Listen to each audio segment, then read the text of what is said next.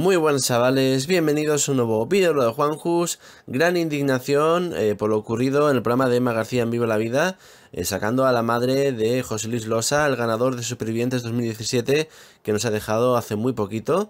Eh, se cree que Telecinco se ha pasado un poco sacando a sus hijos, sacando a la familia de este concursante, aprovechándose del dolor para hacer carnaza y audiencias.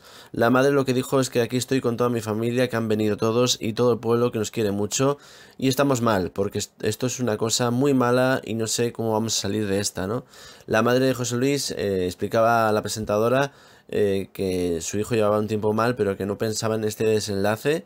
Dice, nos ha afectado tantísimo que yo no me lo creo, eh, que le haya pasado todo esto. Alguien como mi hijo, que era bueno, que era trabajador, él no ha podido con la pérdida de su mujer y este le ha podido a ella, ¿no? Mi hijo estaba muy solo, él me lo decía, nos ha dado un palo, que estamos destrozados y su padre lo está aún más.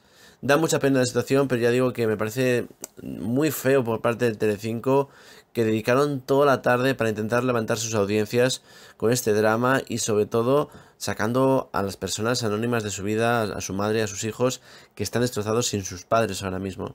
No sé lo que vosotros pensáis, pero es una cosa que comentamos en el directo y que quiero destacar, de verdad, que me parece muy fuerte. ¿Vosotros qué pensáis? Comentad, opinad, dale like al vídeo, suscribirse, un beso enorme y chao chao.